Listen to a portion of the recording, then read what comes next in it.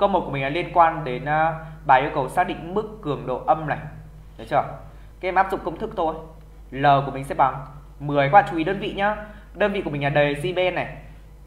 Khi đơn vị của mình là decibel ấy thì công thức của mình nó sẽ là 10 log của y trên y không. Cái này các em bấm máy tính thôi. Bấm ở trên máy tính nha các em nhá. Đây, trên máy tính của mình nó có cái logarit mà. Thầy sẽ bật máy tính cho các bạn xem đây. Đây máy tính của mình đây. Thì các bạn bấm trên máy tính đây nó có cái dấu logarit đây này. Uhm, cái logarit của mình đâu nhỉ? Cái máy của thầy nó đang không có, nó chỉ có cái logarit này thôi. À, cái logarit của mình ấy, cái logarit mà nó không có cái số bên dưới ấy thì nó chính là logarit cơ số 10 nha các bạn nhé. Hình như là các bạn đang học đến phương trình logarit đúng không? Thầy thấy một số bạn bảo thầy là các bạn ấy đang học đến phương trình logarit rồi. Còn trong cái video bài giảng mà thầy quay ấy, thầy có hướng dẫn các bạn cách tính phương trình logarit à đây đây, máy tính có thể có chữ log đây đây đây. Thấy chưa? Thì đấy chính là logarit cơ số 10 nhá. Các bạn đọc tắt là log cũng được. Log hoặc là logarit, được chưa? Logarit cơ số 10 kem bấm thôi, của mình nó sẽ là 10 log của y trên y không. À vậy bây giờ mình sẽ phải đi tìm y đúng không? Mình chưa có y các sẽ phải đi tìm y trước. Y của mình là cường độ âm. Cường độ âm nó sẽ xác định được công suất âm truyền qua một đơn vị diện tích được chưa? Hay nó chính là đo năng lượng truyền qua một đơn vị diện tích đặt vuông góc với cả chiều truyền trong một đơn vị thời gian. Vậy y của mình được xác định bằng p chia cho s. Nhưng các em nhớ cho thầy sóng âm của mình là sóng cầu. Nó truyền đều theo mọi phương mà. Sóng âm là sóng cầu. Cho nên diện tích của mình nó sẽ là diện tích của mặt cầu 4 pi r bình p chia cho 4 pi r bình được chưa? Các em thay số vào đây cho thầy. 125,6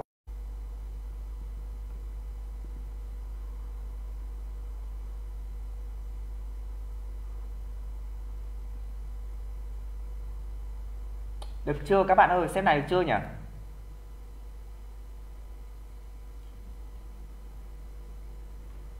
Các bạn thông cảm một chút nhé, nhà thầy mới mất điện xong mà. Mỗi lần mất điện xong là mạng nhà thầy nó cứ chập chờn đấy. Nó phải khoảng độ 1-2 tiếng sau nó mới ổn định hẳn cơ. Bởi vì do cái modem ấy, thầy đang liên hệ với nhà mạng bảo người ta đổi cho cái modem rồi mà. Bởi vì là thầy đăng ký cái mạng nó cũng rất là lâu rồi ấy Cho nên cái modem chắc là nó cũ quá. Mà các bạn biết là cái modem của nhà mạng nó rất là yếu thầy có nắp cái modem riêng rồi đấy nhưng mà nó không tích hợp với cả cái modem nhà mạng. Cho nên là cái à, cục wifi chính ấy tức là cái cục mạng tổng thì thầy vẫn phải sử dụng cái modem của nhà mạng cho nên là nó nó không được ổn định lúc mà mình có mạng lại ấy. Các bạn thông cảm thầy một chút nhé chắc là bây giờ được rồi đúng không? Các bạn xem được rồi đúng không? Các em à, xem lại bình thường rồi đúng không? Có bị mất tiếng không nhỉ? Thầy quên không biết là xem là thầy đã bật tiếng chưa? Đây thầy bật tiếng rồi. Đổn rồi đúng không? Ok. À, câu này mình tính ra là 70 decibel này các bạn này. 70 decibel nha các bạn nhé Ok chưa Câu 1 của mình đáp án C Câu số 2 Tại một điểm A nằm cách nguồn âm có mức cường độ âm là 90 decibel, cho cường độ âm chuẩn là 10 mũ trừ 12 W trên mét vuông. Cường độ âm đó tại A là bao nhiêu? À cái này liên quan đến phương trình logarit, đúng không? Các bạn sẽ phải giải phương trình logarit. Thì các em cứ hiểu đơn giản đấy. Logarit của mình nó là ngược lại của số mũ. Đúng không? Mình đã học hàm mũ rồi thì bây giờ ngược lại của hàm mũ nó chính là hàm logarit. Thì cái lấy như ví dụ các em có logarit logarit của x bằng a nhá. Thì từ đây các em sẽ tính ra được x của mình sẽ bằng 10 mũ a. Thì tương tự bây giờ thầy sẽ áp dụng 90 decibel được chưa? Bằng 10 log của y trên y không. Đấy. Vậy từ đây thầy tính ra được log của y trên y không sẽ bằng 90 chia cho 10 là bằng 9 nó tương tự như là log x bằng a, đúng không?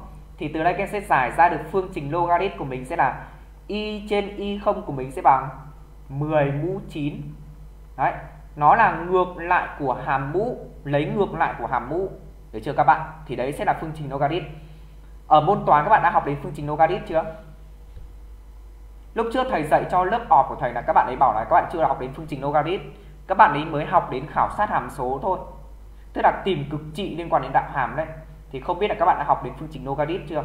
Thì từ đây thầy sẽ tìm ra được y của mình sẽ bằng y 0 nhân 10 mũ 9 nha các bạn nhé. Bằng 10 mũ trừ 12 nhân 10 mũ 9 thì sẽ là 10 mũ trừ 3 đáp án của mình là đáp án C. 10 mũ trừ 3 watt chia mét vuông các bạn học phương trình logarit chưa? Các bạn nào cầm các bạn nào học rồi, học phương trình logarit rồi các bạn comment số 1 cho thầy nhá. Hoặc là comment là em học rồi nhá. Nghe comment số 1 nó hơi buồn cười. La qua các bạn ạ. Thầy đang không đọc được comment các bạn đây. Để thầy thử chuyển sang 3G nha các bạn nhé.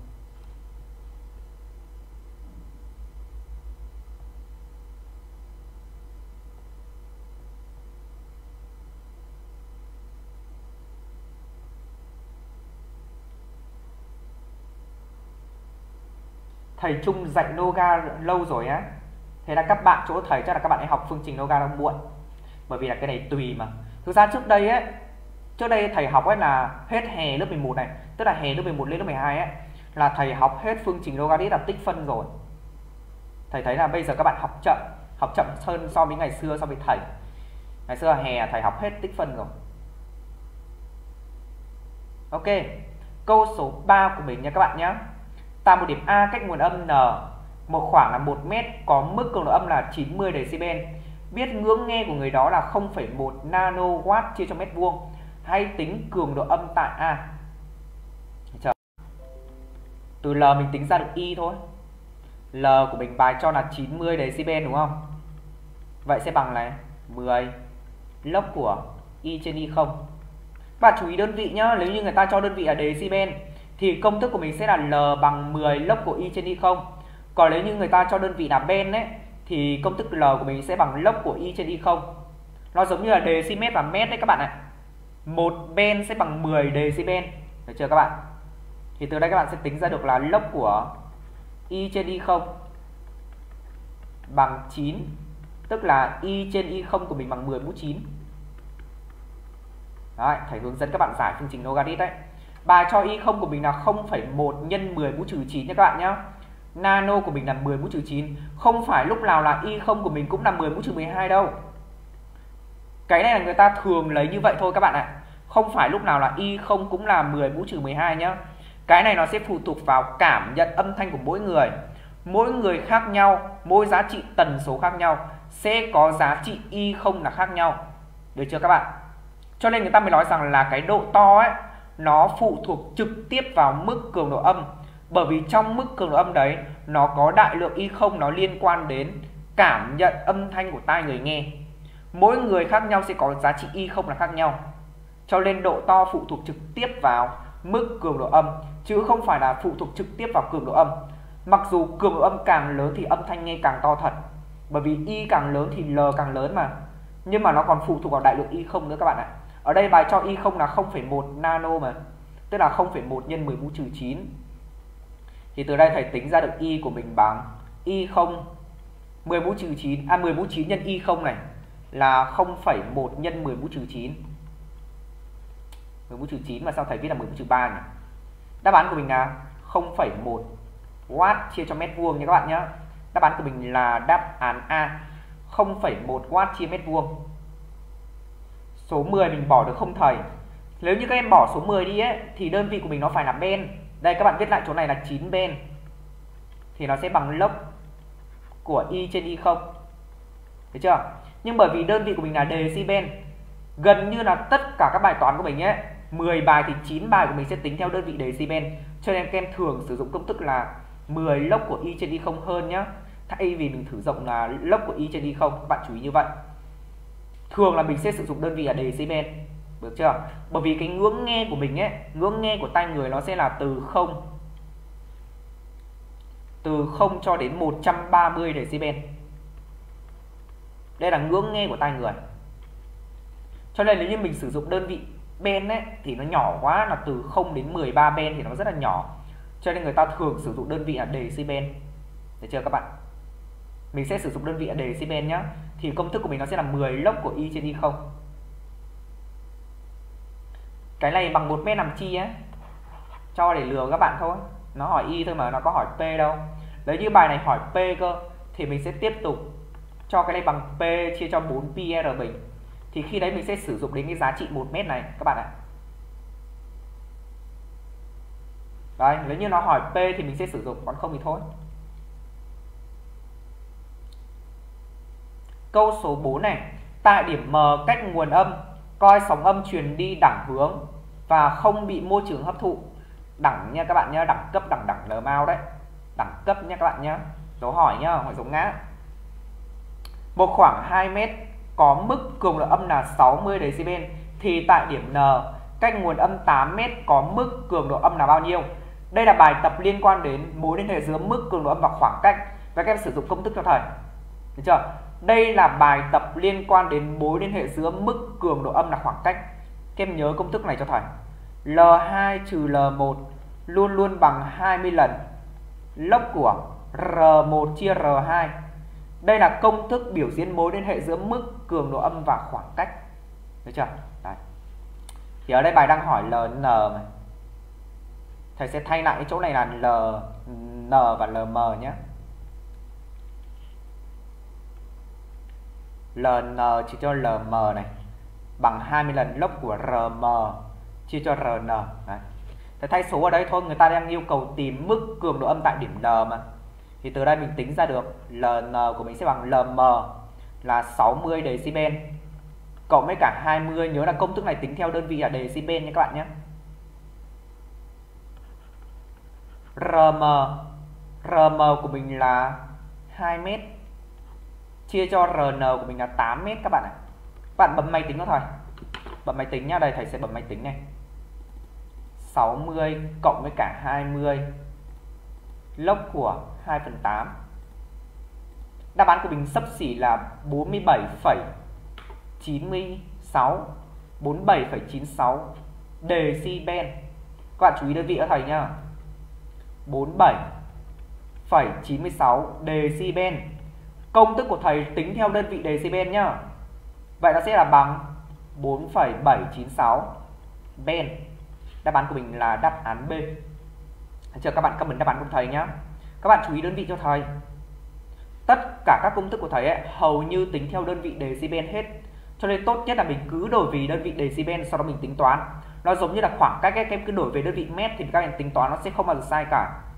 Cho nên là những cái công thức của mình ở cái phần sóng âm này ấy, nó thường tính theo đơn vị decibel cho nên là mình nên đổi về đơn vị decibel sau đó mới tính toán, thì sẽ không bị sai. Được chưa? Chứ các bạn ở đây mà các bạn thay đơn vị ben vào là mình sẽ sai nhá. Sai ngay công thức.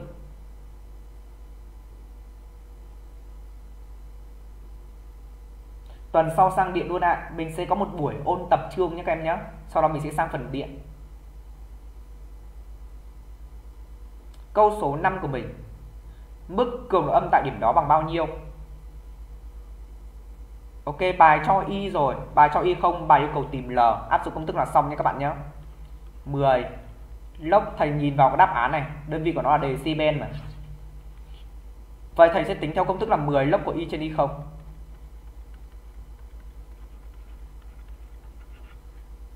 Mười mũ trừ năm chia cho 10 mũ trừ 12 Đáp án của mình là 70 decibel các bạn ạ. Đáp án C nhá.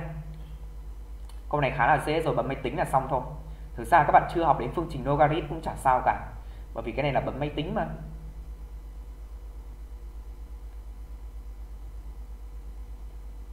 Câu số 6 Bài yêu cầu tính cường độ âm, Bài cho công suất âm.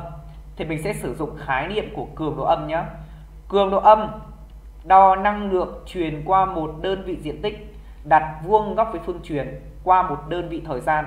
Nó chính là công suất chia cho diện tích mặt truyền.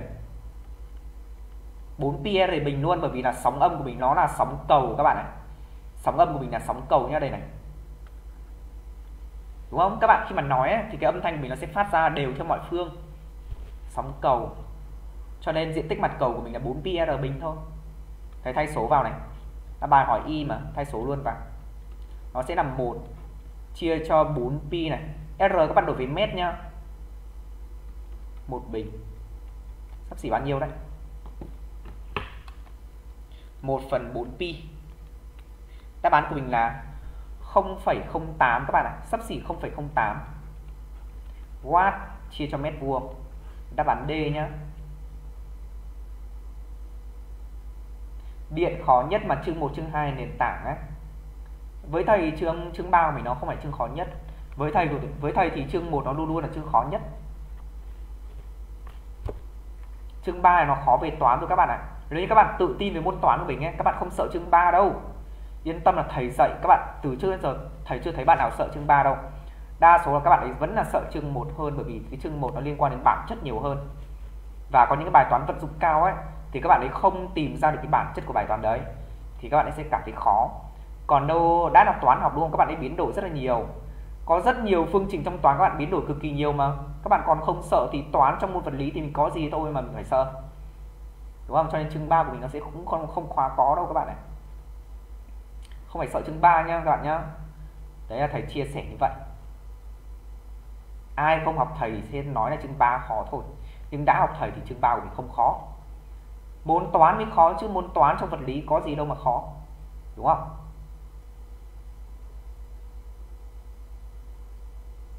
Chương 3 vẽ đồ thị vector là giải được hết hả thầy. Ok nó được gọi là phương pháp giản đồ vector. Mình có hai phương pháp mà. Hoặc là phương pháp đại số hoặc là phương pháp giản đồ vector. Tất nhiên là cái phương pháp giản đồ vector đấy ấy, làm bài tập nó rất là nhanh. Nhưng mà thầy sẽ hướng dẫn các bạn cái dạng bài toán nào thì lên sử dụng phương pháp đại số. Tính toán nó sẽ đơn giản hơn. Nó đỡ phải tìm cái thầy gọi đấy là cái tinh tế đấy. Thầy đã từng hướng dẫn rồi đúng không? Cái chương 3 của mình nó có hai cách. Một cách là phương pháp đại số thầy gọi đấy là phương pháp châu bò tức là các bạn cứ làm cứ biến đổi toán học thì chắc chắn nó sẽ ra đáp án. Tức là mình không cần dùng não luôn. Các bạn chỉ cần biến đổi thôi. Được chưa? Cứ cày cứ cày. Thầy gọi là phương pháp châu bò mà. Thì mình sẽ ra được đáp án. Còn cái phương pháp số 2 ấy thầy gọi là phương pháp tinh tế. Tức là mình sẽ phải tìm ra được mấu chốt của bài toán đấy. Từ đó mình tìm ra được phương pháp giải ngắn nhất. Thì đó chính là phương pháp hình học hay là phương pháp giản đồ vector. Nhưng mà tất nhiên để có thể sử dụng được cái phương pháp đấy ấy, thì các bạn phải tìm ra được cái tinh tế của bài toán đấy thì làm bài tập là mình ngắn được. Nhưng mà đôi khi cái việc tìm ra được cái tinh tế của bài toán đấy ấy, nó khá là dài. Được chưa? Các bạn sẽ phải suy nghĩ rất là nhiều. Nếu như các em đã biết cách làm rồi thì mình làm sẽ làm sẽ được ngắn. Nhưng mà nếu như các em chưa biết làm ấy thì việc tìm ra được cái tinh túy đấy ấy, nó rất là khó. Cho nên thầy sẽ hướng dẫn cả hai phương pháp. Bài nào nên sử dụng phương pháp đại số thì thầy sẽ hướng dẫn phương pháp đại số. Bài nào nên sử dụng phương pháp hình học thì thầy sẽ hướng dẫn phương pháp mình học. Cho nên các bạn yên tâm với chương 3 mình không có gì phải sợ cả. Được chưa? Cứ đến lúc mà thầy dạy chương 3 các bạn sẽ cảm thấy chương 3 nó khá là dễ thôi. Thậm chí nó còn dễ hơn chương 1 và chương 2 đấy. Cho nên các bạn không phải sợ nhé nào, câu số 7 của mình này. Bạn đang đứng trước nguồn âm một khoảng là D. Nguồn này phát ra sóng âm đều theo mọi phương. Bạn đi 50 m lại gần nguồn thì thấy cường độ âm tăng lên gấp đôi. Tính D câu này mình sẽ sử dụng phương pháp tỷ lệ nhé các bạn nhé đúng không? Sử dụng phương pháp tỷ lệ này. Y của mình thì sẽ bằng p chia cho 4 pr bình mà. Vậy rõ ràng là cường độ âm tỷ lệ nghịch với bình phương khoảng cách. Vậy ở đây thầy sẽ lấy d y2 chia y1 này. Nó sẽ bằng r1 bình chia cho r2 bình. Tương đương với nhá bài cho là y2 của mình tăng gấp đôi so với y1 cho nên y2 chia 1 mình là bằng 2 R1 của mình chính là D. R2 của mình là đi lại gần 50m mà, cho nên là D trừ 50 tất cả bình. Các em ship sâu thôi thì mình tính ra được D thôi, đúng không? D của mình sẽ bằng. Đây các em ship sâu ra giá trị D cho thầy tính ra được D bằng bao nhiêu nhỉ? Như là đáp án C, đúng không? Thầy nhớ không nhầm là đáp án C.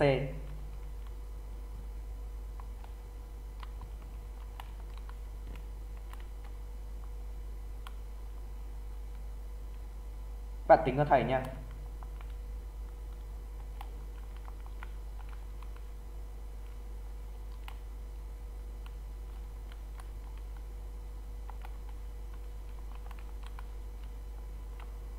Đáp án C các bạn nhé, sấp xỉ là 171 mét. Đáp án C này. Thấy chưa? Này không đọc được comment rồi.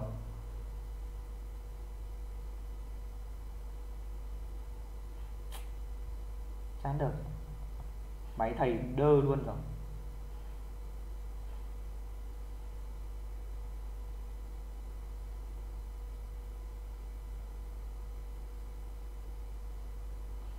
Ok, câu số 7 của mình đáp án C nha các bạn nha. Mình sử dụng phương pháp tỷ lệ thôi. Y tỷ lệ nghịch với bình phương khoảng cách.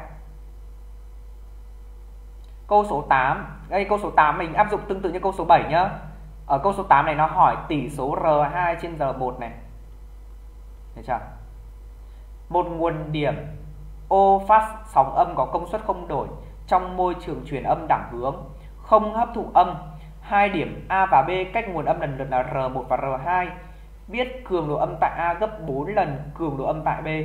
Tính tỷ số R2 chia R1 và ở đây thầy sẽ lập tỷ số này. IA chia cho IB chính là bằng RB bình. Chia cho RA bình. Tỷ lệ nghịch với bình phương khoảng cách mà A phần B sẽ là RB phần RA tất cả bình. Mà bài cho là IA của mình bằng 4 lần IB vậy chỗ này là 4 RB của mình chính là R2 các bạn ạ. R2 bình phần R1 bình.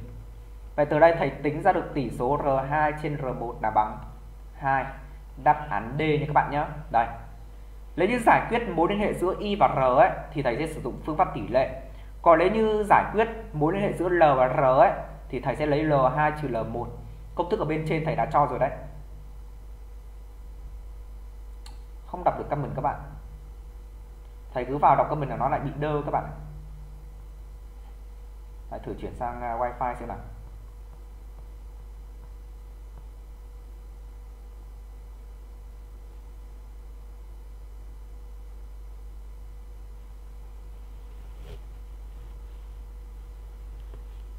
Toán chạy nhanh quá không nhanh đâu các bạn ạ.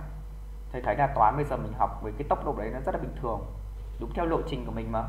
Chứ ngày trước đến bây giờ là thầy học gần như là hết chương trình 12 rồi. Ngày xưa thầy học toán ấy là đến khoảng độ tháng 11 thôi là hết chương trình 12 rồi các bạn ạ. Bây giờ là thầy học xong tích phân rồi. Câu 9 này các bạn sử dụng chú ý nhá. Hoặc là các bạn sử dụng công thức cũng được. Đây L2 trừ L1 bằng 10 log của y2 phần y1 các bạn sử dụng công thức này cho thầy nhé.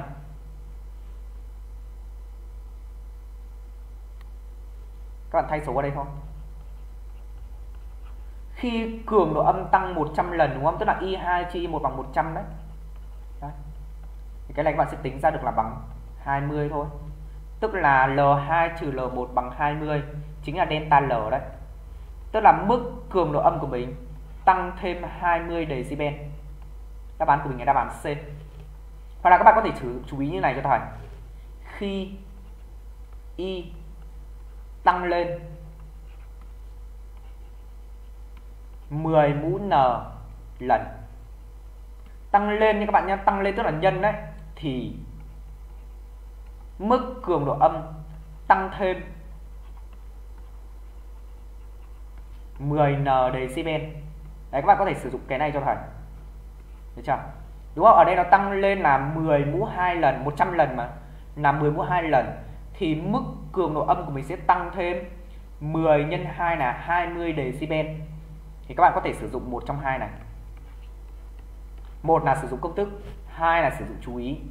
Thì thầy thường sử dụng cái số 2 nhiều hơn bởi vì là đỡ phải tính toán mà. Nhập cái là ra luôn. Câu 9 của mình đáp án C các bạn nhá. Câu số 10 Một sóng âm truyền trong không khí. Mức cường âm tại điểm M và tại điểm N lần lượt là 40 và đẩy 70 decibel. Cường độ âm tại điểm N lớn hơn cường độ âm tại điểm M là bao nhiêu? Giống câu trên thôi, đúng không? Thầy sử dụng cái công thức số 1 đây này. Đúng chưa? Mối liên hệ giữa L và I đây. LN trừ cho LM sẽ bằng 10 lần lớp của rn chia cho rm đấy. À y chứ. Thầy đang nhầm công thức các bạn này nó đang so sánh y mà. In chia cho im mà ln của mình là 70 lm của mình là 40 vậy chỗ này của mình là 70 trừ 40 là 30 chưa? Tương đương với lớp của in chia cho im là bằng 3 thì từ đây thầy tính ra được tỷ số in chia cho im bằng 10 mũ 3 10 mũ 3 là 1.000 các bạn 1.000 lần. Câu 10 mình đáp án A nhá. Phan Thanh Đức 10A ok, chính xác rồi nhá. Đấy, nó liên quan đến giải phương trình logarit thôi các bạn ạ. Khá là dễ, đúng không? Cái phần sóng âm này của mình ấy, nó tương đối là dễ các bạn ạ. Nó chỉ có bài toán liên quan đến yếu tố hình học ấy, thì nó sẽ vận dụng cao một chút thôi thì đấy là bài toán vận dụng cao của mình. Bài toán sóng âm liên quan đến yếu tố hình học. Thì đấy sẽ là bài toán vận dụng cao. Còn nếu như mà nó không liên quan đến yếu tố hình học ấy, thì các bạn cứ áp dụng công thức là ra. Đã từng có một năm là sóng âm mình có câu điểm 10 rồi. Năm của thầy luôn các bạn ạ năm của thầy sóng âm là câu điểm 10 nhưng nó là câu lý thuyết các bạn ạ năm của thầy sóng âm, câu lý thuyết là câu điểm 10 năm đấy gần như là rất ít bạn có thể làm được nó liên quan đến nha nó gọi là liên quan đến âm nhạc một chút. Nó liên quan đến thầy không nhớ lắm nó liên quan đến nốt nó liên quan đến quãng đấy quãng trong âm nhạc đấy mà thầy cũng không am hiểu ở đây lắm. À, vẫn làm được câu đấy. May là mình nếu mà mình vận dụng được cái kiến thức của sóng âm ấy thì dù các bạn không có kiến thức về âm nhạc ấy mình vẫn có thể làm được câu đấy. Thì các bạn có thể xem lại câu đấy nha các bạn nhé nó là một câu lý thuyết luôn nhưng nó lại là câu vận dụng cao, câu 9 cộng của mình, câu điểm 10 luôn. Cái này thầy vừa cho công thức rồi. Đáp án C các bạn ạ. Cái này thầy cho công thức rồi.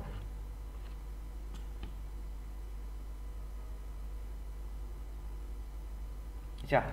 Nó thực chất chính là LA trừ LB bằng 20 lần lốc của RB chia RA đấy thì ở đây người ta cho RB chia RA bằng 10 mũ N rồi mà. Log của 10 mũ N ấy, đây này. Log của 10 mũ N. Thì sẽ là bằng N nhé các bạn nhé vậy thay vào đây nó sẽ là 20N để decibel. Cái này là tính chất của hàm logarit. Tính chất hàm logarit nha các bạn nhé cái này các bạn học trong toán thì nó sẽ rõ hơn là thầy viết ra cho các bạn. Câu 11 của mình đáp án C.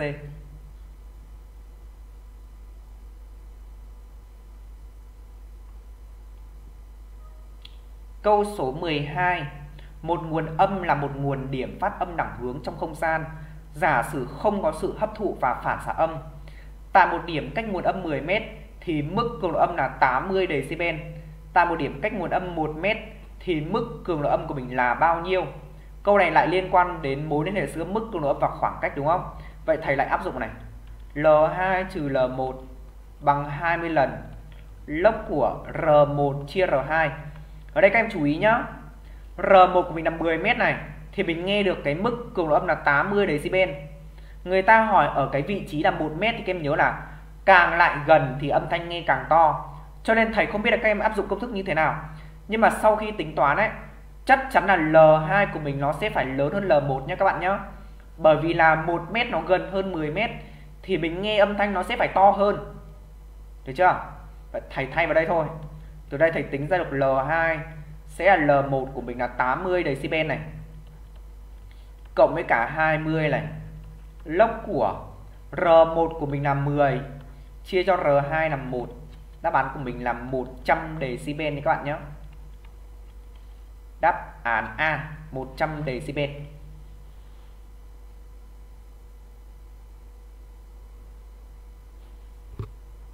Thấy chưa? đấy, nên điện thoại lại đơ, không đọc được comment các bạn rồi. Thầy không hiểu tại sao luôn. Thầy còn không bấm thoát ra để đọc được ấy.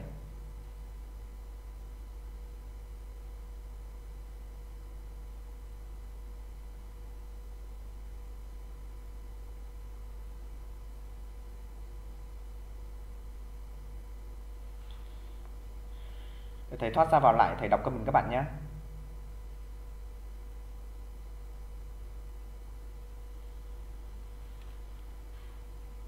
Mọi người ra được câu 12 không? Câu 12 này dễ mà các bạn. Câu 12 siêu dễ, Áp dụng công thức là ra luôn.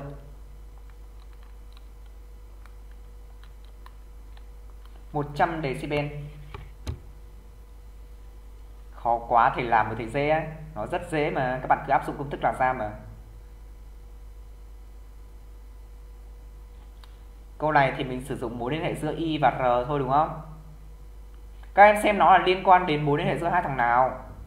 Mối liên hệ giữa y và r thì các em sẽ sử dụng phương pháp tỷ lệ. Mối liên hệ giữa l và r thì mình sẽ sử dụng l2 trừ l1 mối liên hệ giữa l và y thì mình cũng sẽ sử dụng l2 trừ l1 thế thôi. Nó chỉ có mấy cái kiểu như vậy thôi mà công thức của mình nó khá là ít thì mình có thể áp dụng ra thôi là xong. Câu này thầy sẽ sử dụng phương pháp tỷ lệ nhá. Y2 chia y1 bằng r1 bình, chia cho r2 bình. Tương đương với này, bài cho y2 của mình là 4y y1 của mình là y, vậy y2 chia y1 sẽ là 4 r1 bình chính là r r2 của mình là r trừ 50 bình phương bình phương thì từ đây các em sẽ tính ra được r thôi. 100 m đáp án C nha các em nhé câu 13 của mình đáp án C.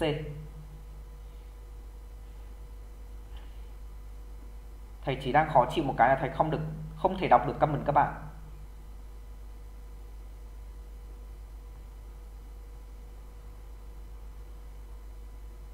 Trời ơi, định dình đấm thầy luôn à. Nhưng đúng là như vậy mà các em. Đúng là như vậy mà những bài tập có công thức là những bài dễ các em ạ. À.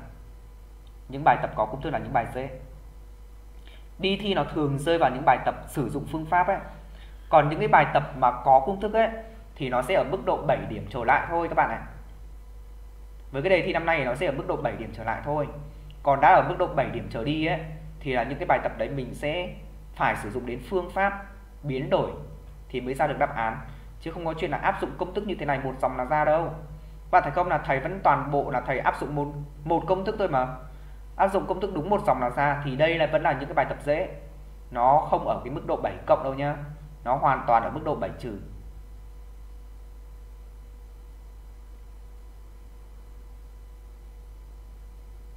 Được chưa? áp dụng công thức ấy thì các em sẽ chỉ cần xem là cái công thức đấy nó biểu diễn mối liên hệ giữa những cái đại lục nào thôi nếu như bài cho mối hệ giữa các đại lực đấy, hoặc là bài hỏi mối liên hệ giữa các đại lực đấy, thì các em sẽ áp dụng công thức đấy thôi. Được chưa? Các bạn có công thức rồi, nhưng có một cái vấn đề là các bạn là không biết khi nào áp dụng công thức nào, hoặc là khi nào áp dụng công thức. Thì các em nhìn xem là trong cái công thức của mình ấy, nó biểu diễn mối liên hệ giữa các đại lượng nào, hoặc nó sẽ giúp mình xác định giá trị của đại lượng nào. Thì khi đấy mình sẽ áp dụng cái công thức đấy thôi. Được chưa? Ở đây là thầy thấy người ta cho y, người ta cho r tức là mình sẽ phải sử dụng cái công thức nào nó có mối liên hệ giữa y và r.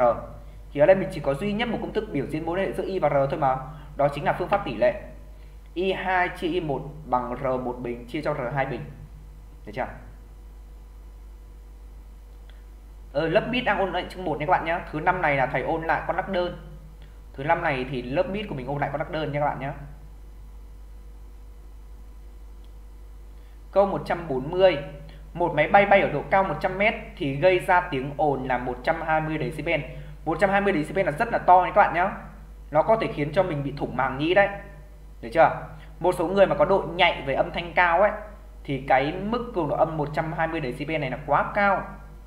Thậm chí là các bạn có thể gây ra cảm giác bị đau, bị chảy máu tai hoặc là bị thủng màng nhĩ đấy. Muốn giảm tiếng ồn ở cái mức độ là 100 decibel thì máy bay phải bay ở độ cao là bao nhiêu? Cái này các bạn sử dụng công thức L2 trừ L1 thôi. Nào, thầy lấy L2 trừ L1 nhá. Thầy thấy cái này là L1 đi. R1 đây là L2 nhá. Vậy thầy sẽ lấy L1 này, trừ L2 bằng 20 lần. Độ cao này là R2 mà, mình đang đi tìm R2 nha các bạn nhá. Lớp của R2 chia L1 đấy. Thầy thấy là câu này nó cho khoảng cách, nó cho mức cường độ âm cho nên thầy sẽ áp dụng công thức mối liên hệ giữa L và R. Thì mình chỉ có duy nhất một công thức thôi. Đó là L1 trừ L2 bằng 20 lần lốc của R2 trên R1 em thay vào đây thôi là xong.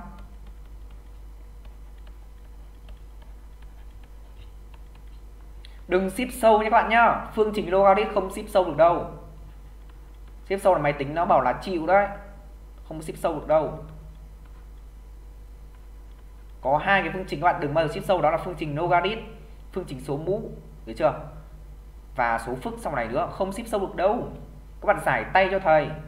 Giải tay nó rất là ngắn. Đây này, nó sẽ là một bằng lốc của R2 chia cho 100 tương đương với R2 chia 100 bằng 10 mũ 1 từ đây thầy tìm ra được R2 bằng 1.000 mét tức là độ cao phải tăng gấp 10 lần cái khoảng cách lên, cái độ cao lên.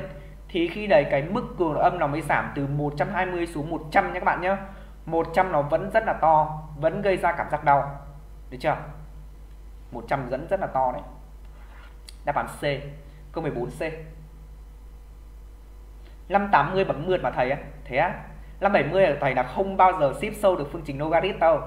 Thầy có sử dụng 580 đâu mà thầy biết nhưng mà cái phương trình này nó rất là đơn giản thì các bạn giải tay cho thầy cái gì mà mình lên giải tay được ấy, thì các bạn nên giải tay. Giải tay được ấy thì các bạn sẽ nhẩm được nhẩm được nó sẽ nhanh. Còn ship sâu nó rất là lâu. Nếu như các bạn nào quen ship sâu ấy các bạn nhớ thầy là đi thi ấy các bạn cầm hai máy tính cho thầy. Sử dụng hai máy tính nhá. Một máy tính mình sẽ sử dụng để ship sâu. Trong lúc đó mình đợi đáp án thì mình sẽ làm những câu khác. Được chưa? Thì đấy thầy khuyên các bạn như vậy.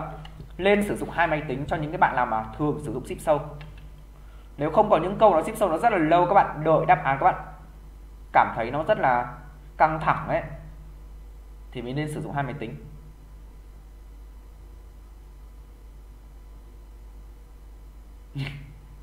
Trần Đăng, bấm ship sâu thấy máy tính bảo tớ lạnh cậu thay cho tớ. Ừ có những cái phương trình nó nặng quá, các bạn ship sâu đến bao giờ nó mới ra? Câu 15 này mình đỡ được máy tính bao nhiêu máy tính nó sống lâu với mình bấy nhiêu đây? Ví dụ các bạn nhìn thấy máy tính của thầy đây. Thầy có bao giờ ship sâu đâu. Nó tồn tại với thầy được 8 năm rồi. Còn đâu, ví dụ, khóa 2k2 thầy thầy nhá. Có những bạn thầy phải thay pin cho các bạn ấy hai lần cơ. Tức là đọc có 3 năm học thôi mà thầy thay pin hai lần rồi. Trong khi máy tính của thầy là thầy chưa thay pin lần nào luôn. Máy tính xịn các bạn hàng nhật chất lượng cao. Trong một buổi hòa nhạc, giả sử có 5 chiếc kèn giống nhau cùng phát ra sóng âm tại điểm M có mức cường độ âm là 50 decibel. Để tại M có mức cường độ âm là 60 decibel thì số kèn đồng cần thiết là Các bạn chú ý câu này nhé. Rất nhiều bạn hiểu nhầm số kèn nó tỷ lệ thuận với mức cường độ âm là sai. Số kèn nó không tỷ lệ thuận với mức cường độ âm nhá. Nhiều bạn khoanh B câu này luôn. Đấy, các bạn thấy à? À, 5 kền là 50 decibel, thì 60 decibel sẽ là 6 kền. Sai. Số kền nó không tỷ lệ thuận với mức cường độ âm.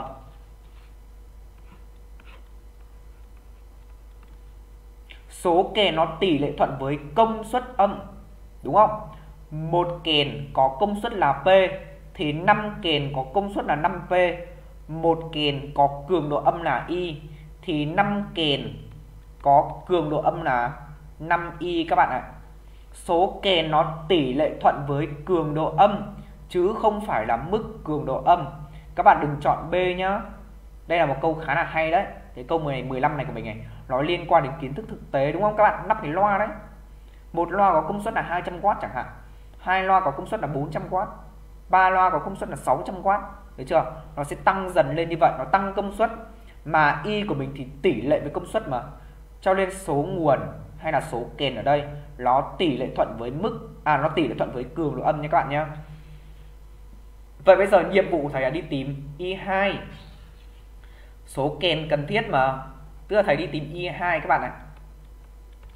Và thầy sẽ sử dụng mối liên hệ giữa l và y nhé l2 trừ l1 bằng 10 lần log của y2 phần y1 cái này là kiến thức thực tế đấy, khá là hay. L2 trừ L1 của mình là 10 Thì từ đây thầy tính ra được là Y2 lốc của Y2 phần Y1 Bằng 1 Tương đương với Y2 chia cho Y1 bằng 10 Mũ 1 Thì từ đây thầy tính ra được Y2 nhá. Y1 của mình là 5Y Nhân 10 à, 50Y 50y tức là 50 kền các bạn ạ. Y1 bằng 5y tức là 5 kền.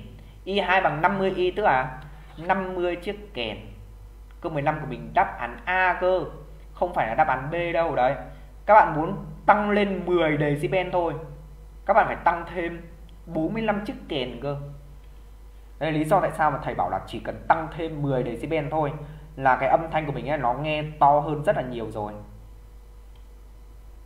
và đừng nhầm nhá 5 kền 50 decibel này 6 kền 60 decibel là sai đấy phải nhắc nhở các bạn chỗ đấy 15A thầy ơi Ok các bạn ra được A là tốt rồi Tương tự câu 16 các bạn này Nhiều bạn sẽ lấy 65 cộng 60 là 125. Thế là điếc tai đấy.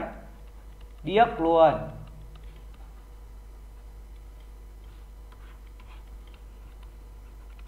Sai nha các bạn nhá. Cái mức cường độ âm của mình nó không cộng được như vậy đâu. Mình chỉ có thể cộng cường độ âm tức là cộng công suất âm thôi. Được chưa? Câu này nó khá là đây là một câu vận dụng nhá, một câu vận dụng cao rồi các bạn ạ. Ở đây các bạn sẽ phải tìm y tổng. Tức là mình hiểu như thế này. Cái âm thanh truyền đến ấy, tức là sóng tới ấy có cường độ âm là y1. Sóng phản xạ sẽ có cường độ âm là y2. Thì mức cường độ âm toàn phần này nó sẽ là y bằng y1 cộng y2. Cái y của mình mới được cộng như vậy chứ không có chuyện là l bằng l1 cộng l2 đâu nhá. Như thế là điếc tai luôn đấy. Thủng màng nhĩ luôn đấy. Không có chuyện đấy đâu. Và bây giờ thầy sẽ phải đi tìm được mối liên hệ giữa y2 và y1 trước. Thấy chưa? Thì thầy sẽ lấy l1 chia l2 đi. Lấy l1 trừ l2 đi.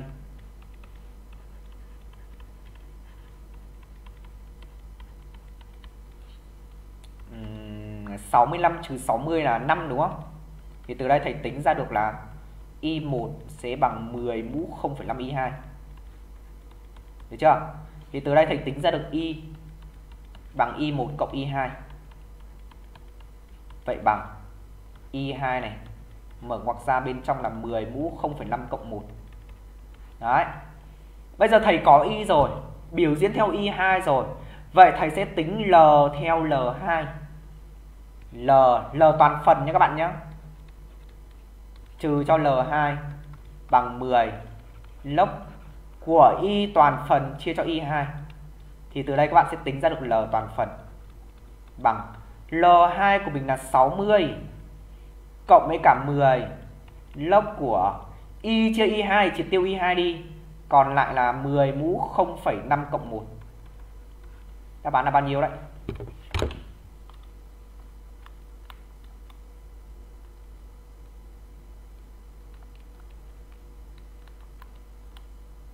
66,19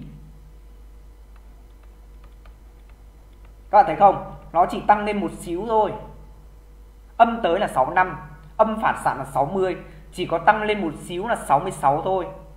Nghe to hơn một xíu thôi. Được chưa? Chứ không có chuyện to lên tận 125 decibel là mình điếc tai luôn đấy. Thủng màng nhĩ chảy máu tai luôn đấy. Không có chuyện đấy đâu nha các bạn nha Không có L bằng L1 cộng L2 đâu mình chỉ có y bằng y1 cộng y2 thôi. Nó tương tự như là p bằng p1 cộng p2 đấy. Được chưa? Đấy, hai câu này là hai câu các bạn chú ý cho thầy nhá. Câu 15 và câu 16 là hai câu rất hay đấy. Người ta thường lừa các bạn chỗ này. Đây là hai câu cực kỳ hay đấy.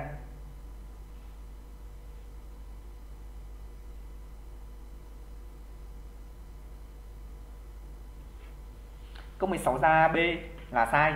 Câu 16 mình chọn C nhá. Nó chỉ tăng lên một chút thôi các bạn ạ. Đúng không? Các bạn nghe trong phòng kín ấy, nghe âm thanh nó sẽ to hơn là nghe trong phòng rộng bởi vì nó gây ra hiện tượng phản xạ âm đấy. Nó giống như các bạn bỏ chân ra các bạn nghe tiếng đúng không? Thì nó sẽ bé hơn là các bạn trùng chân vào bạn nghe nó sẽ to hơn. Hoặc là các bạn nghe âm thanh trong một cái phòng nhỏ ấy nó sẽ to hơn là các bạn nghe âm thanh trong một cái phòng to bởi là cái hiện tượng phản xạ âm này nó sẽ xảy ra rõ rệt hơn. Nó không bị hấp thụ âm nhiều. Được chưa? Hoặc là các bạn nghe nhạc ở trong phòng kín hoặc là mang ra ngoài đường để nghe nhạc đúng không? Thì nghe nó sẽ bé hơn. Nhưng mà nó sẽ chỉ tăng lên một chút thôi chứ không có tăng lên nhiều đâu đấy. 65 cộng với 60 chỉ tăng lên thành 66 thôi. Tức là tăng có 1,19 decibel thôi mà. Có tăng nhiều đâu.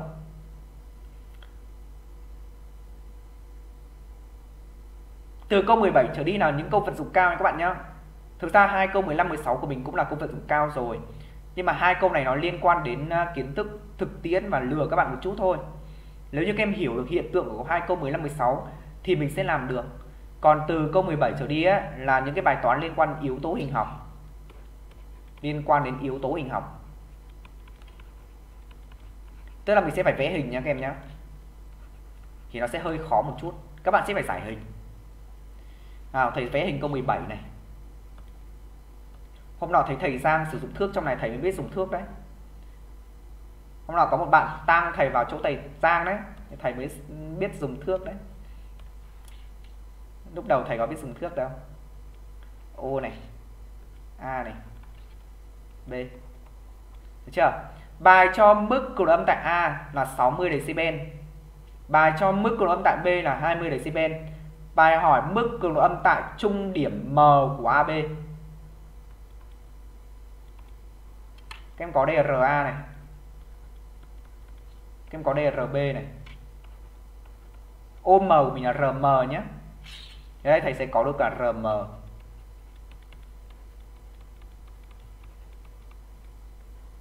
m. Của mình là trung điểm của ab mà. Cho nên rm của mình sẽ bằng ra cộng rb chia 2 các bạn nhớ công thức này cho thầy nhé nhớ công thức này cho thầy. Nhớ công thức này cho thầy nhé chưa Đấy. nhìn cho nó cute.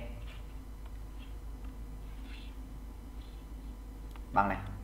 Bây giờ mình sẽ phải đi tìm mối liên hệ giữa RA và RB để giải quyết bài toán lên yếu tố hình học ấy. Tất cả các bài toán liên quan đến yếu tố hình học, các em sử dụng công thức này cho thầy để mình tìm được mối liên hệ giữa khoảng cách đúng không? Đã là liên quan đến hình học là liên quan đến khoảng cách. Vậy nó sẽ là mối liên hệ giữa mức cường độ âm và khoảng cách. Các em sẽ dùng công thức là LA trừ LB bằng 20 lần log của RB chia RA nó sẽ có một mô tiếp chung để mình làm bài thôi. Mặc dù thầy nói là bài toán liên quan đến yếu tố hình học ấy thì nó là bài toán vận dụng cao. Nhưng mà cái phương pháp giải ấy, nó chỉ có một. Đó là áp dụng đúng một công thức này thôi là xong.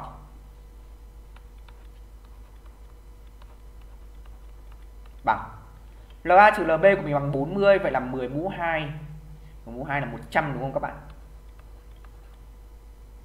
Thầy thay vào đây nhá. Thầy thay vào đây thôi thì nó sẽ được là 50,5 RA được chưa? RB bằng 100 RA mà. Vậy à, uh, RA cộng RB là 101 RA chia đôi ra thì nó sẽ là 50,5 RA từ đây thầy rút ra được mối liên hệ giữa RM và RA đúng không? Thì thầy sẽ áp dụng công thức giữa LM và LA Đấy, đến đây thầy sẽ sử dụng đó là LM trừ LA bằng 20 lần lớp của RA chia RM đấy. Đấy là một cái mô típ chung, phương pháp chung để mình giải quyết những bài tập liên quan đến yếu tố hình học. Những cái bài tập liên quan đến yếu tố hình học ấy, thì các em sẽ phải rút ra được cái phương trình hình học. Đây ví dụ đây là cái phương trình hình học của mình đây này. Dựa vào hình thì mình giải quyết thôi. Mỗi cái hình học khác nhau thì mình sẽ có cái phương trình là khác nhau. Ở đây nó là trung điểm mà. Cho nên RM sẽ bằng RA cộng RB chia 2. Tính chất trung điểm thôi.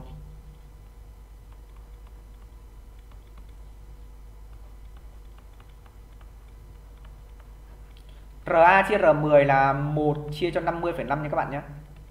Các em bấm máy tính thôi. Nó ra bao nhiêu đấy?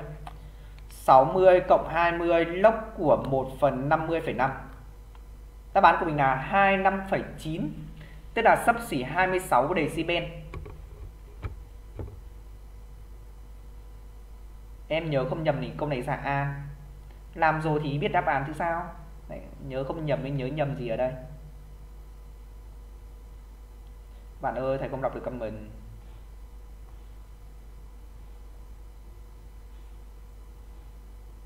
Càng xuống dưới càng khó nhá, thầy cho những bài tập nó càng ngày càng khó đấy. Nó liên quan đến yếu tố hình học nhiều hơn. Đây, các bạn xem câu 17 đi nhé.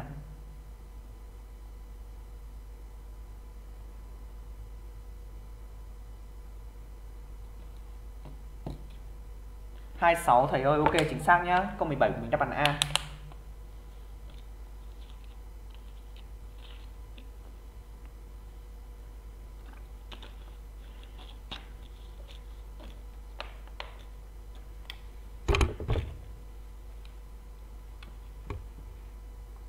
Câu số 18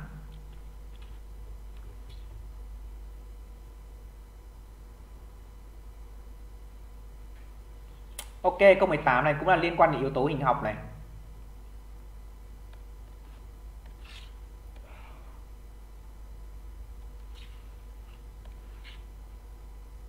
O này.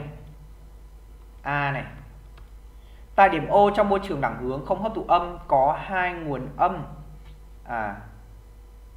Tức là y1 của mình bằng 2 đúng không? Đây. Y1 bằng 2Y có hai nguồn âm mà. Giống nhau với công suất phát âm không đổi. Tại điểm A có mức cường độ âm là 20 decibel. Để tại trung điểm M của OA M là trung điểm của OA đây. Có mức cường độ âm là 30 decibel, thì số nguồn âm giống nguồn âm trên cần đặt thêm tại O bằng bao nhiêu? Tức là lúc đầu ấy Y1 của mình là bằng 2Y thì tại A của mình là 20 decibel. Bây giờ thầy sẽ tính xem là lúc này tại M của mình có cường độ âm là bao nhiêu nhá Có mức cường độ âm là bao nhiêu nhá. Xem là LM của mình, L1 của mình bằng bao nhiêu nhá. LM sẽ bằng bao nhiêu này? Thầy sẽ đi tìm này. Bởi vì M của mình là trung điểm của OA mà. Đúng không? Cho nên RM của mình bằng 1 phần 2 RA Thế thầy suy ra này. LM trừ LA bằng 20 lần log của RA chia RM. RA chia RM là bằng 2 nha các em nhé bởi vì là M là trung điểm của OA mà cho nên là RM đang bằng 1 phần 2 RA. Từ đây thầy tính ra được LM.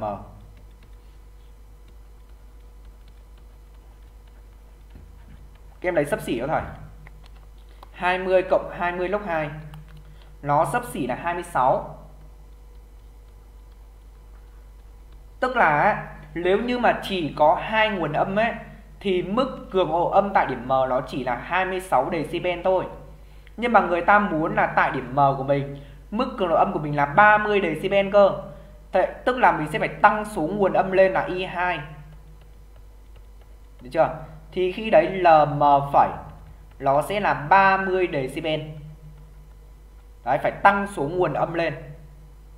Mà các bạn chú ý câu này nó hỏi là cần đặt thêm nhá. Cần đặt thêm tại ô bao nhiêu nguồn âm? Được chưa?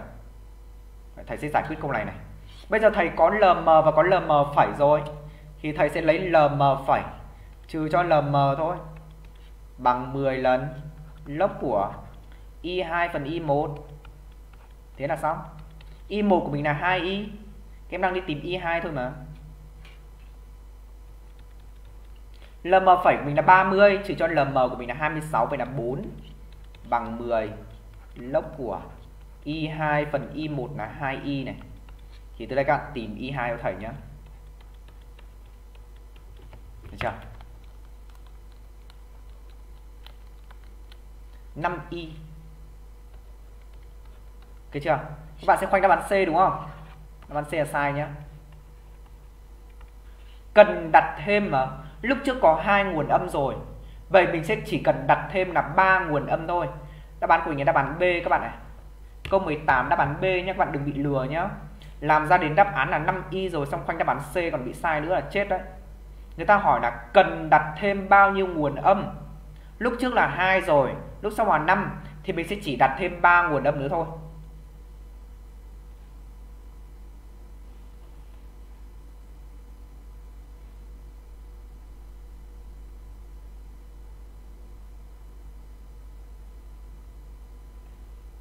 Không sao nhé những câu này của mình là những câu vận dụng cao rồi. Thầy thấy là các bạn hiện tại đang rất là sợ những cái bài toán liên quan đến yếu tố hình học. Bởi vì các bạn không chắc môn toán. Thầy thấy là đa số học sinh bây giờ là không quá được chắc môn toán đâu. Và các bạn thường bị áp lực của môn toán mình trong môn vật lý đấy. Các bạn thường nghĩ là môn lý nó khó, nhưng thực ra môn lý của mình nó dễ hơn môn toán rất là nhiều. Môn toán của mình mới là môn khó nhất các bạn ạ. À. nhưng mà các bạn không biết cách áp dụng môn toán và môn vật lý cho nên các bạn cảm nhận là môn vật lý nó khó, nhưng thực ra môn vật lý không khó đâu. Các bạn cứ áp dụng tốt cái phần toán học của mình vào môn vật lý ấy, thì sẽ thấy là cái phần lý của mình nó rất là dễ.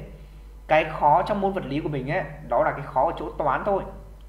Được chưa? Cái đề thi của các bạn là 40 câu đúng không? Thì 38 câu là khó về toán. Chỉ có hai câu là khó về lý thôi. Bởi cái phần lý của mình ấy, nó chỉ có đặt nó chỉ có tính chất, nó chỉ có định luật, mà những cái định luật định lý đấy nó cực kỳ đơn giản bạn cứ mở lại những cái công thức của mình xem. Thầy không nói là công thức nhá. Thầy đang nói là định luật định lý. Có, có có cái định luật định lý nào mà cái công thức của nó phức tạp không các bạn? Hay là f bằng ma hay là omega bằng căn bậc 2 của g chia l? Hay là omega bằng căn bậc 2 của k chia m? Đúng không? Trong những cái công thức mà dựa vào định luật định lý của mình rút ra những cái công thức của mình nó cực kỳ đơn giản. Còn mấy cái công thức này nó chỉ là hệ quả thôi cho nên các bạn cảm thấy nó phức tạp. Mà tất cả các hệ quả này, thầy đều dựa trên môn toán để thầy xây dựng. Được chưa? Lý nó dễ lắm các bạn ạ. Cố gắng một chút nhé. các bạn làm nhiều, bởi vì những cái bài toán này liên quan yếu tố hình học, cho nên nếu như các bạn chưa làm được ấy, thì xem thầy chữa thầy chữa một hai câu là thôi là các bạn sẽ biết cách làm thôi, các bạn sẽ biết áp dụng môn toán nào thôi. Không sao nhá. Chứ không phải là mình cứ học cái là mình sẽ phải làm được hết luôn. Không có chuyện đấy đâu làm gì có chuyện là học một có thể làm được 20 em 10 thầy phải chữa thì các bạn mới làm được. Bởi vì là mình chưa biết cách áp dụng mà. Không sao nhá. Các bạn cứ cảm thấy nó tự ti là không được đâu. Câu 19 này. Trong môi trường đẳng hướng không hấp thụ âm trên mặt phẳng nằm ngang có 3 điểm OMN tạo thành tam giác vuông tại O. Thực ra các bạn sẽ thấy rằng ấy, những bạn nào mà học giỏi lý ấy, thì các bạn ấy cũng sẽ học giỏi toán. Các bạn nào học giỏi hóa thì các bạn ấy cũng sẽ học giỏi toán. Thật sự như vậy. Các bạn thường học giỏi hai môn trong 3 môn đúng không? Các bạn sẽ thấy rằng như vậy. Thường là mình sẽ chỉ giỏi hai môn trong 3 môn thôi. Còn những bạn nào mà rất là xuất sắc rồi ấy, hoặc là các bạn ấy học đều ấy thì không nói làm gì cả. Nhưng đại đa số là các bạn sẽ thường giỏi là toán lý toán hóa hoặc là toán anh. Toán anh thì ít đúng không? Toán anh ít. Thường là toán lý hoặc là toán hóa thường như vậy, đúng không? Các bạn thấy xem. Bởi vì không chắc môn toán ấy, thì làm sao có thể học tốt được môn hóa và môn lý?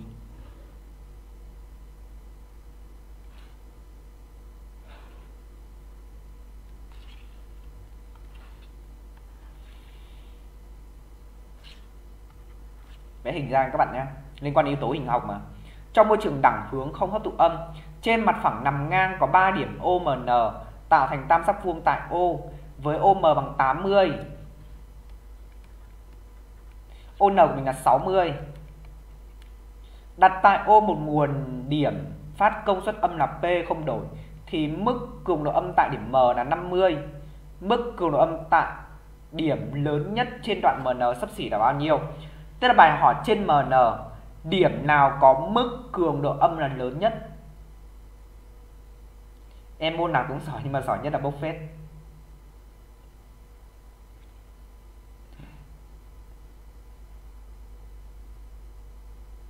À thầy biết tại sao rồi. Sai lầm lớn nhất của thầy trong tuần này có thể update cái iOS lên 15 Thế là thầy dùng nó cứ bị bơ ngơ ấy, Nó cứ bị mất cầm mình đấy Nào câu 19 này các bạn có thể làm được. Các bạn cứ nhớ cho thầy là càng gần nguồn ấy, nghe càng to. Giống như các bạn quẩy nhạc đấy đúng không? Các bạn nghe càng gần loa nghe nó sẽ càng to bạn nào thử dí tai vào loa xem xem có thủng màng nhĩ không? Đúng không?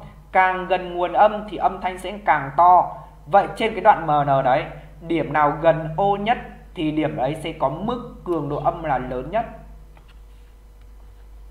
Ui, gần nhất thì kẻ vuông góc thôi đúng không các bạn? Gần nhất thì mình kẻ vuông góc thôi có gì đâu. Điểm H sẽ là gần nhất. Đây. Tại đây L sẽ mắc đấy.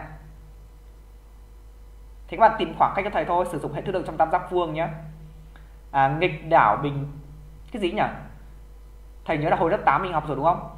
Nghịch đảo đường cao. Bình phương nghịch đảo đường cao đúng không? Bằng tổng nghịch đảo bình phương hai cạnh góc vuông à? thầy thức lượng trong tam giác vuông đấy. Thầy đang nhớ lại cái nội dung ngày xưa đấy nghịch đảo bình phương đường cao bằng tổng nghịch đảo bình phương hai cạnh góc vuông. Chính xác chưa?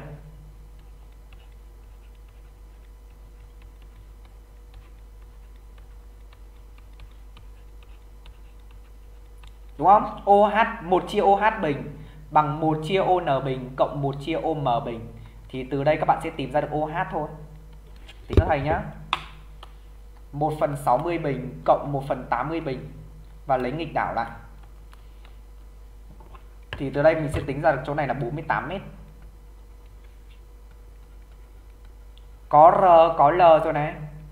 Có LM rồi thì mình sẽ tìm ra được LH thôi. Đấy, liên quan yếu tố hình học đấy, thì đây chính là yếu tố hình học của mình. Đúng chưa? Hệ thức lượng trong tam giác vuông. Cái này thì môn toán ở phần hình không gian các bạn sử dụng nhiều, đúng không? Bài toán khoảng cách đấy. Thầy nhớ là tính khoảng cách giữa một điểm và một đường thẳng hoặc là khoảng cách giữa một điểm và một mặt phẳng ấy, các bạn thường sử dụng công thức này. Ngày xưa thầy học phần à, hình học không gian cực kỳ chắc đấy. Các bạn không biết đâu. Khá là tự tin bài toán đấy luôn.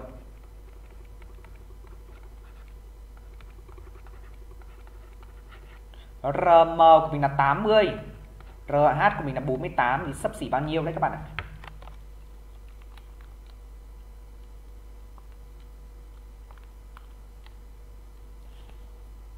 Hồi cấp 2 thầy rất là sợ toán hình nhưng mà lên cấp 3 thầy lại không sợ hình đâu. Thầy sợ đại hơn bởi vì nó có bài toán bất đẳng thức, bất phương trình. Không bao giờ thầy làm được mấy bài toán đấy đâu. Chịu thôi. Không hiểu sao thầy tài có thể thi được 10 điểm. Câu đấy là câu điểm 10. Thầy chịu câu đấy thôi. 54,30 54,4 decibel. Đáp án D các bạn ạ. Hồi cấp 2 thầy sợ hình thật, hồi cấp 2 thầy không giỏi hình. Nhưng mà lên cấp 3 thầy sợ đại. Làm sao để làm được câu bất phương trình hả các bạn? Các bạn hỏi thầy tài giúp thầy với. Hồi xưa thầy đi th à, hồi xưa thầy đi thi toán cũng là tự luận mà. Thì câu điểm 10 ấy, cái câu để được 10 ấy, nó là câu bất phương trình năm nào cũng như vậy. Câu điểm 10 luôn luôn là câu bất đẳng thức, chính xác là bất đẳng thức chứ không phải bất phương trình câu điểm 10 luôn luôn là câu bất đẳng thức. Thầy chưa bao giờ làm được câu nào bất đẳng thức cả đã được đúng một câu, đấy là thi vào lớp 10 câu cuối cùng, cái câu điểm 10 lớp 10 thầy làm được. Thi vào lớp 10 không nói làm gì, thi vào lớp 10 thầy làm được hết. Điểm tốt luôn. Nhưng mà thi đại học thì thầy chưa bao giờ làm được một cái đề làm mà thầy làm được câu điểm 10 rất thầy cũng hiểu tại sao thầy tài có khi được 10 điểm môn toán. Đẳng cấp đấy các bạn thi vào lớp 10 nói làm gì? Thi vào lớp 10 thi tự nhiên đỗ mà.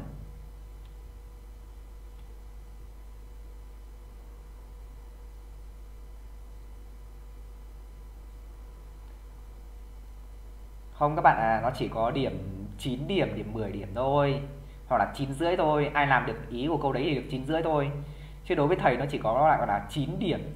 Thầy chỉ có điểm gọi là Hồi thầy thi ấy, quan niệm trong đầu thầy nó chỉ có điểm điểm điểm nguyên điểm thôi. Tức là 1 điểm, 2 điểm, 3 điểm, 4 điểm, 5 điểm, 6 điểm, 7 điểm, 8 điểm, 9 điểm, 10 điểm thôi. Không có điểm rưỡi, không có điểm lẻ đâu. Làm được một câu là làm được một điểm. Ngày xưa thầy có một cái thói quen như thế này. Nó không phải là thói quen, nó là một cái cũng có thể được coi là một ưu điểm. Đó là một khi đã làm được câu nào rồi ấy thì thầy sẽ luôn luôn làm được tối đa điểm của câu đấy. Không bao giờ mất điểm trình bày và không bao giờ mất điểm mặt vặt. Đấy làm được 7 điểm thì chắc chắn là 7 điểm. Làm được 8 điểm chắc chắn là 8 điểm. Chứ không có chuyện 7 dưới 8 rưỡi đâu. Đợt thi vào cấp 3 cũng như vậy. Chắc câu nào thì sẽ phải làm được câu đấy. Thì có thể đấy là một cái ờ, đặc điểm cũng như có có thể coi đấy là một cái ưu điểm. À, mặc định là thầy không làm được câu 10 rồi thì chắc chắn là thầy sẽ được 9 thôi chứ không thể nào được 10 được. Bởi vì mình có làm được câu 10 đâu. Thì làm gì có chuyện 9 rưỡi 9,8 bạn ơi, ngày xưa bất đẳng, bất phương trình nó là một cái gì đấy? Nó nó nó kinh khủng lắm các bạn ạ.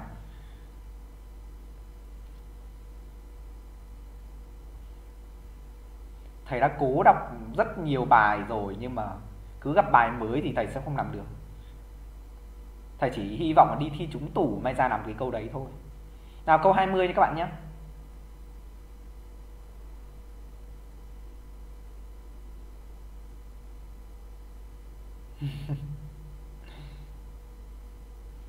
môn hóa môn lý không sao môn hóa môn lý thầy tự tin có thể làm đến điểm 10 cũng được. Nhưng mà môn hóa thầy có kể cho các bạn rồi đấy.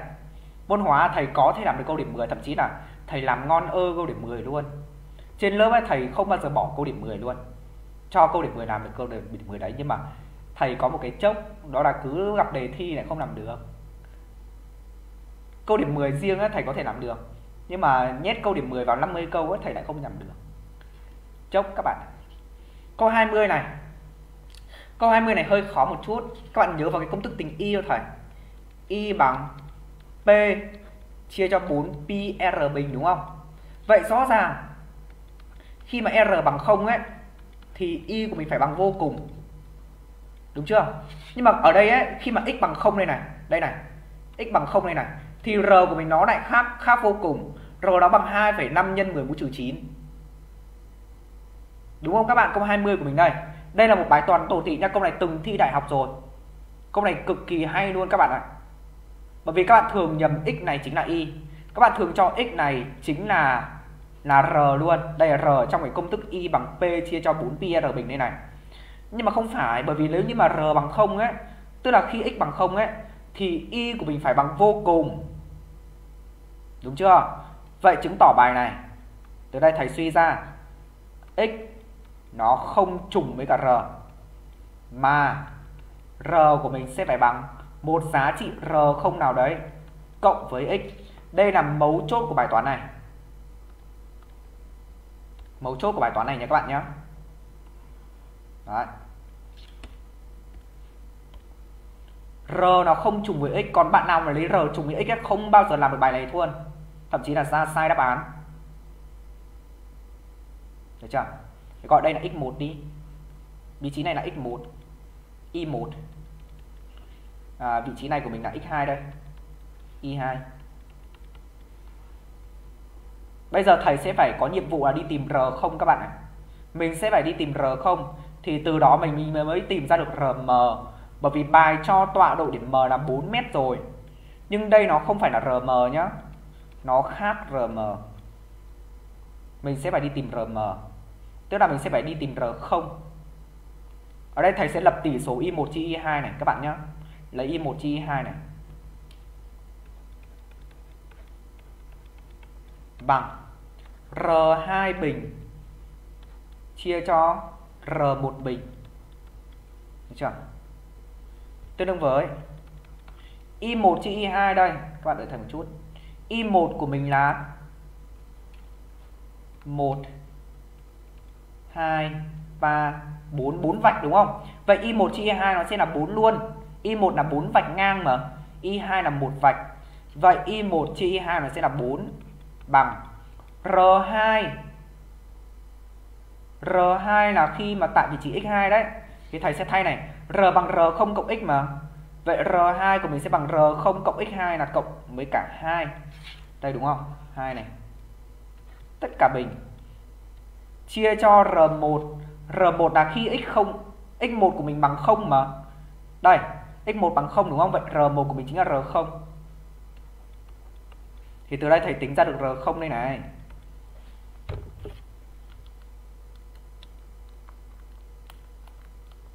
R0 của mình bằng 2 các bạn ạ.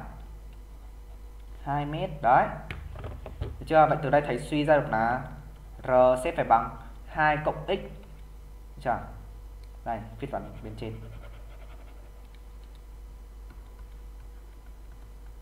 Đấy. Thì đây là cái mấu chốt của cái bài toán này nha các bạn nhé. Thầy nhớ không nhầm, đây là cái đề thi năm 2018 Đây là đề thi đại học năm 2018 Tức là khóa 2000 khóa đề hơi bị khó đấy các bạn đề năm đấy siêu khó luôn. Từ đây thì tìm ra được rm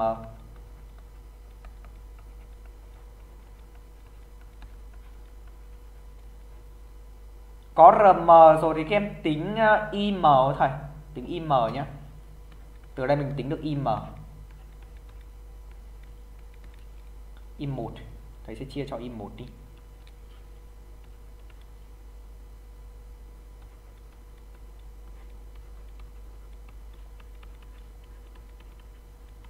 Y1 của mình là bao nhiêu nhỉ? 2,5 nhân 10 mũ trừ 9 nhân với cả R1 R1 của mình chính là R0 các bạn ạ. à. Vậy là 2 bình. Chia cho RM bình là 6 bình. 2,5 nhân 10 mũ trừ 9 nhân với cả 2 bình phần 6 bình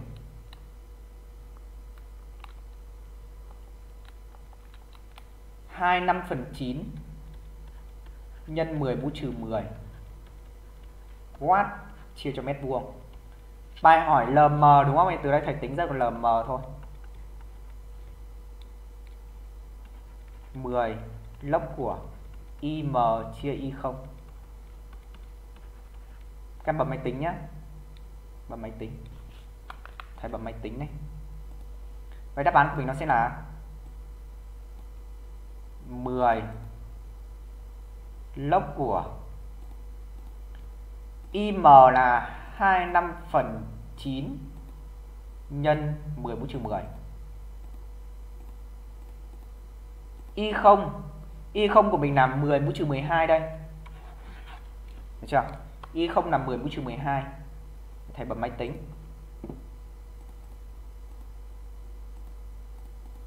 Đáp án của mình là sấp xỉ 24,4 decibel.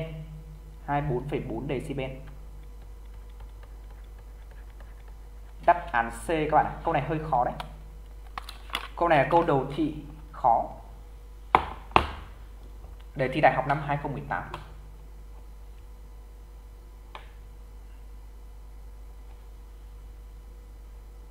Ok, chưa các bạn? Đấy, đây là những cái bài toán lên yếu tố hình học. Thì cái bài toán mà liên quan đến yếu tố hình học, các bạn vẽ hình ra cho thầy và giải quyết liên quan đến yếu tố hình học thì nó sẽ hơi khó một chút bởi vì mình sẽ phải vận dụng và tìm ra được cái phương trình hình học cái mấu chốt của bài toán đấy. Thì một ví dụ đây và mấu chốt bài toán này của mình nó sẽ là r bằng r không cộng x, đúng không? Mấu chốt bài toán này của mình đây, nó chính là hệ thức lượng trong tam giác vuông mấu chốt bài toán này của mình đó là trung điểm.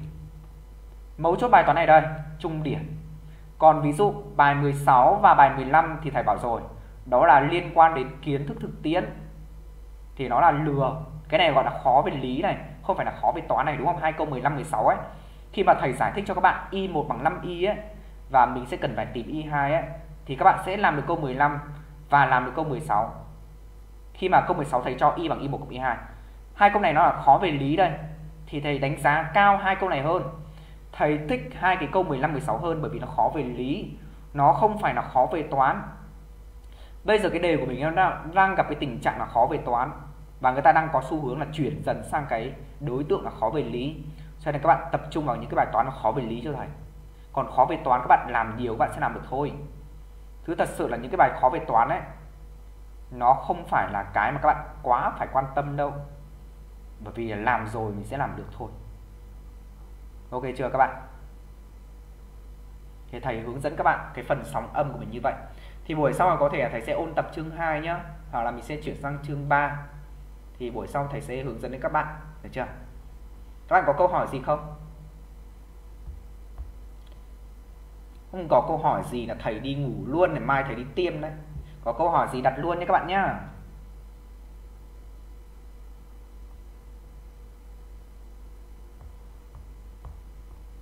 Các bạn đừng sợ môn toán, đừng sợ môn toán trong hai môn lý và hóa. Cái đấy nó không phải là các bạn, cái để các bạn sợ đâu. Các bạn cần tập trung vào bản chất của cái môn đấy cho thầy môn lý thì tập trung vào bản chất môn lý, môn hóa thì tập trung vào bản chất môn hóa. Còn cái phần toán đấy, các bạn làm nhiều bài tập, nghe thầy chữa, nghe cô chữa, thì các bạn sẽ rút ra được cái yếu tố hoàn toán học thôi, và mình sẽ cải thiện được bài tập. Nhưng tất nhiên, với điều kiện là các bạn sẽ phải làm bài tập nhiều và làm bài tập chăm chỉ, chứ không có chuyện là mình không làm bài tập chỉ nghe thầy cô giảng là các bạn có thể tiếp thu được cái đấy đâu. Nó là thuộc về kỹ năng rồi, thuộc về phương pháp áp dụng rồi. Cho nên các bạn phải làm bài làm bài tập nhiều nhá, thì mình mới cải thiện được được chưa? Nó giống như các bạn học tiếng Anh ấy các bạn muốn nói được thì các bạn phải nói. Chứ các bạn chỉ học cách nói thôi ấy. Cô Giang giảng các bạn các bạn chỉ nghe thôi ấy, các bạn sẽ không nói được đâu. Cố gắng là mình sẽ phải nói theo cô. Cô nói đến đâu mình nói cho cô đến đấy. Được chưa? Và các bạn đã chào thầy hết rồi à? Hóa ra từ đấy thầy độc thoại một mình à? Ok bye bye các bạn nhá. Thầy chào tất cả các bạn. Hẹn gặp các bạn vào thứ năm. Nếu như thầy còn đủ tỉnh táo. Bye bye.